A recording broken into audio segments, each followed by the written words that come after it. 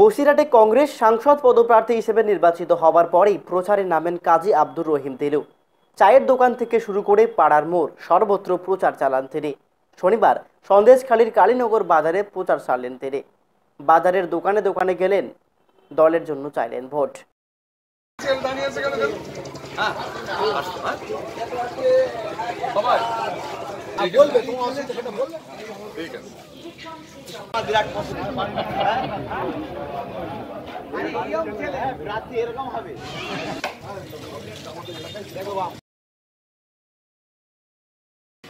এই আশীর্বাদ। আপনি ভালো থাকুন। হ্যাঁ ঠিক আছে ঠিক আছে। Bureau report Bengal TV.